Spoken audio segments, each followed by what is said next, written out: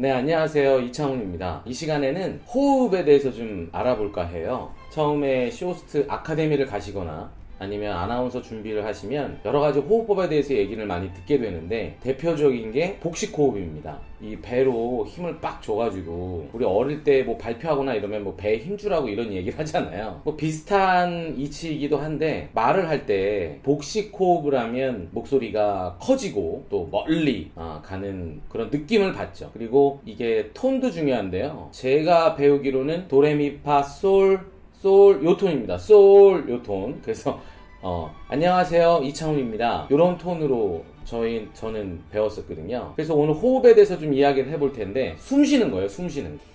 숨을 들이마시고 이제 말을 하면서 이제 그 숨을 뱉는 거 아닙니까? 근데 그 원리를 잠깐 알아보고요. 그 다음에 어떤 방식으로 어, 숨을 쉬는 게 좋은지에 대해서 좀 말씀을 드리겠습니다. 우선은 제가 풍선을 가지고 왔는데 풍선 한번 불어볼게요.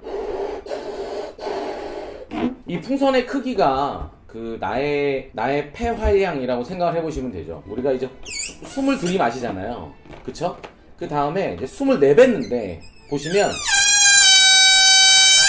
요런 거예요. 그러니까 끝에를 이렇게 떨림을 주죠.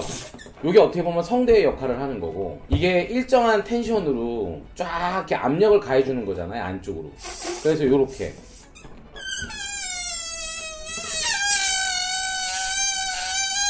요런 느낌입니다. 다시 한번 해볼게요. 그래서 우리가 일정한 뭐 배면 배, 뭐 가슴이면 가슴, 잠시 후에 말씀을 드릴 텐데 일정하게 압력을 쭉 주면서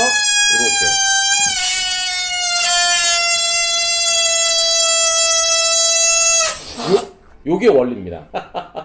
요게 원리예요. 근데 이 풍선에 이렇게 큰 이렇게 공기를 머금고 있는 일정한 텐션으로 눌러주는 거. 이거 어디에다 이제 힘을 갖고 눌러주느냐입니다. 우리가 알고 있는 복식 호흡은 여기 이제 횡격막이 있죠. 횡격막을 밑으로 내려서 배를 이렇게 앞으로 내밀어요. 그러면서 이제 호흡이 되는 거죠. 그래서 가슴은 그대로 있고 이렇게 배로 해서 아, 아, 이렇게 일정하게 숨을 빼는 거. 이걸 이제 우리가 복식 호흡이라고 하고요. 복식 호흡. 그 다음에 이렇게 배워서 저는 이제 연습을 쭉 했어요. 연습을 쭉 했는데 뭐라 그럴까? 이 호흡이라는 게요. 복식 호흡이 음, 어느 날 문득 갑자기 이 복식 호흡이 어, 내가 방송을 하면서 여유감을 찾아가면서 이 복식 호흡에 대한 이게 너무 어, 뭐라 그럴까 어떤 그 매너리즘이라고 해야 되나? 타성? 뭔가 다른 호흡법을 찾고 싶은 거예요. 근데 한 시간 동안 이 복식 호흡을 배에 힘을 주고 소리를 지르다 보면 정말 좀 약간 이게 나이가 들면서 조금씩 힘들더라고요. 그래서 다른 호흡법을 좀 찾아보기 시작했죠. 그래서 그 다음으로 제가 했던 게 요 단전으로 하는 호흡입니다. 그래서 배도 그대로 두고 가슴도 그대로 두고 아랫배 우리가 배꼽 밑에 세 손가락 밑에가 이제 단전이라고 하는데 이 단전도 호흡이 있어요. 그래서 아랫배를 팽창시키는 거예요. 아랫배를 여기를 이렇게 쫙 부풀려주는 이 아랫배 그러니까 우리가 이 가슴에서 복식은 배가 나오는 거잖아요. 근데 이 아랫배를 이렇게 부풀려 주는 거예요. 이 아랫배에다가. 그래서 가슴과 배는 그대로 아랫배에 힘을 딱 주고 여기서 소리를 좀 더 뽑아내면 이 밑에서 쭉 올라오는 소리가 더 힘이 있다고 느껴지는 느껴지더라고요. 그래서 이제 단전 호흡 우리가 이제 얘기하는 단전 호흡이 있고 그 다음에 이제 흉식 호흡인데 가슴으로 하는 거죠. 그래서 보통 처음에 그 우리가 막 연습을 하잖아요. 뭐 스피치 연습을 하건 아니면 announcing 연습을 하건 연습을 하다 보면 가슴이 이렇게 올라오는 사람이 있어요. 가슴이. 그래서 근데 이게 처음에 저도 이제 아카데미에서 강의를 할 때는 이 가슴을 올리지 말라고 이야기를 해요. 왜냐하면 가슴을 올리면 턱도 같이 올라가고 그러면 전체적으로 얼굴이 딱 위쪽을 바라보기 때문에 좀 전체적으로 뭔가 좀 흐트러지거든요. 그래서 이제 여기 가슴을 그대로 두고 턱을 살짝 당기고 시선을 이렇게 앞쪽으로 보는 와중에 복식 호흡을 하라고. 이렇게 저도 강의를 했었는데 근데 제가 3년 전에 제가 요가를 배웠었어요 요가를. 근데 그때 이제 흉식 호흡이나 아니면 복식 호흡이나 아니면 요, 요 아랫배로 하는 단전 호흡까지는 알고 있었는데 이제 요가를 하러 가는데 그분들이 어떻게 하냐면 숨을 쉬고요. 그러니까 이렇게 하는 거예요. 근데 이렇게 쭉 뱉으면서 호흡을 하더라고요. 그래서 이 호흡이 뭐냐 물어봤더니 우자의 호흡이라는 거예요 호흡. 그러니까 요가 하시는 분들은 아마 많이들 들어보셨을 텐데 흉식 호흡 중에 하나라고 알면 되는데요. 이 가슴을 열어주는데 중요한 거는 위로 올려주는 거예요.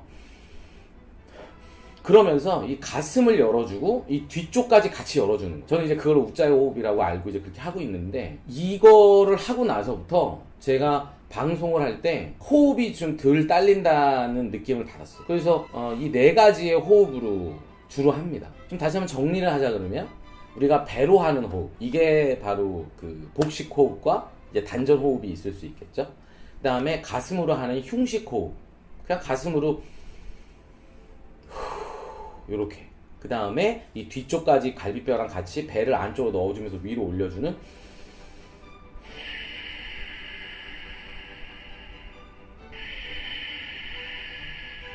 우자의 호흡 네 가지의 호흡을 호흡을 하게 됩니다. 그런데 아침에 제가 일어나면은 이렇게 뭐 스트레칭을 좀 하면서 명상이라는 걸 좀 하거든요. 근데 명상을 할 때 앉아서 할 때도 있고 누워서 할 때도 있습니다. 그래서 가슴 뭐 우자의 호흡을 하고 그 다음에 복식으로 배를 밀어주면서 숨을 들이마시고 그 다음에 단전 호흡까지 아랫배를 밀어주면서 숨을 한꺼번에 다 들이마셔요. 그 다음에 뺄 때는 반대로 단전 아랫배부터 쭉 당겨줘서 내뱉고 그 다음에 이 복식 호흡으로 배를 쭉 안쪽으로 넣어주면서 내뱉고 그 다음에 가슴까지 쭉 당겨주면서 가슴을 쫙 모아주면서 그, 그러면서 이제 마지막 호흡까지 쭉 뽑습니다. 들이마시는 숨대 나오는 숨 이거를 뭐 1대1이나 뭐 여러 만, 어, 말씀들이 많더라고요. 근데 제가 보내드리고 싶은 건 본인의 몸에 맞춰서 그 본인이 알 수 있거든요. 그걸 해보면 알 수 있습니다. 그래서 그 길이에 맞춰서 들, 들숨과 날숨의 그 비율도 한번 조정을 해보시고요. 처음에 이제 방송을 연습하고 말을 하고 스피치를 하고 아니면 뭐 어디 가서 발표를 하고 이런 것들이 긴장을 유난히 많이 하시는 분들이 있잖아요. 저도 처음에 방송할 때 막 손도 엄청 떨고 했었거든요. 호흡이 해결해 주는 거야. 호흡이. 호흡을 통해서 몸에 힘을 빼주고 그 긴장감을 relax 하면서 거기에 집중이 되고 몰입이 되면 어느 순간 내가 긴장하고 있었다는 것 자체를 잊게 되거든요. 그런 부분들이 좀 어떻게 보면 한 횟수가 거듭될수록 그런 것들이 좀 도움이 되지 않나. 뭐 짧게 말씀드렸는데 호흡은 네 가지. 복식 호흡과 가슴으로 하는 호흡. 그래서 복식. 그 다음에 요 아랫배로 하는 단전. 그 다음에 가슴으로 하는 흉식. 뒤쪽까지 다 열어줘. 배를 넣어서 쭉 뒤쪽까지 열어주는 어, 우자의 호흡까지. 이 네 가지 호흡 한번 연습을 한번 해보시고요. 나한테 맞는 호흡을 찾으면 되는 것 같아요. 지금도 이렇게 방송하는 이렇게 후배들이랑 같이 방송하는 거 보면 목소리가 확실히 다른 친구들이 있어요. 근데 그런 친구들이 꼭 복식으로 호흡을 하느냐? 그, 그건 아닌 것 같아요. 어떤 친구는 가슴이 더 이렇게 왔다 갔다 숨을 쉴 때 그런 경우도 있고 아니면 진짜 배에 타이트하게 힘이 딱 들어가서 복식 호흡을 하는 친구도 있고 남자도 마찬가지. 남자도 중저음이지만 그래도 어떤 친구들은 보면 겉으로 봤을 때는 가슴이냐 아니면 배 호흡이냐 요 정도만 이렇게 분간할 수 있지만 어떤 호흡이 정답이냐 솔직히 그건 없어요. 이제 와서 드는 생각은 뭐냐면 스피치를 할 때 꼭 복식 호흡을 어, 해야 된다고 얘기하는 건 정답이 아닌 것 같아요. 지금 제 생각에는 사람마다 다 운동신경이 다르고 어느 신체 부위를 움직일 수 있느냐가 다 다르기 때문에 숨을 들이마셨을 때 배와 가슴을 같이 움직일 수도 있고 아니면 배를 가만히 아니 가슴을 두고 배를 움직일 수도 있는 거고 아니면 어떤 친구들은 이 배, 배에서도 아랫배를 쭉 열어줘서 뭐 단전의 호흡이 될 수도 있는 거고 방법은 되게 많은 것 같아요. 요즘에는 워낙 뭐 필라테스나 요가 하시는 분들도 많이 있기 때문에 어떻게 보면 아나운싱을 처음 접하기 전부터 뭐 요가 하신 분들은 우짜이 호흡이 또 맞을 수도 있는 거고 자기의 방송 성향 그 다음에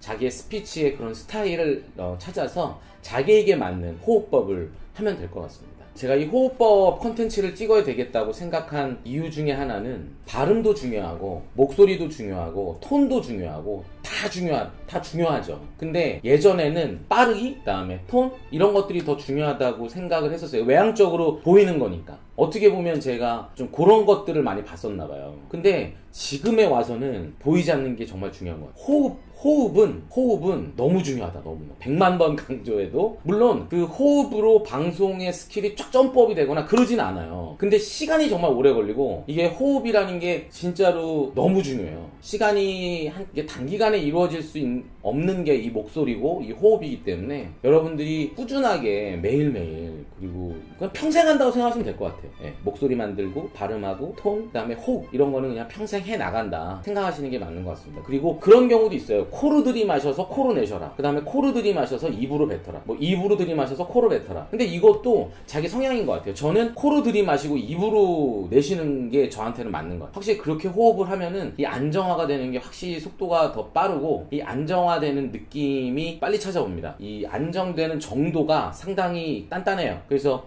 저는 약간 이런 식으로 하고 있는데 여러분들도 어, 다양한 호흡법 들숨, 들숨과 날숨, 그 다음에 어떤 방식으로, 어떤 형식으로 어, 해 나가시는지 해서 나만의 호흡법을 만드셨으면 좋겠어요. 어떤 게 정답이다. 그런 건 없는 것. 자기에게 맞는 호흡법을 꼭 찾으셔서 여러분이 어떤 일을 하시건, 하시던지 뭐 발표를 하시건 아니면 일상생활을 하시건 분명히 도움이 될 겁니다. 여러분들에게 꼭 도움이 되셨으면 좋겠습니다. 나만의 호흡법 오늘 밤부터라도 아니 오늘 밤 아니고 지금 이 순간부터 꼭 시작해 보시기 바라겠습니다. 감사합니다.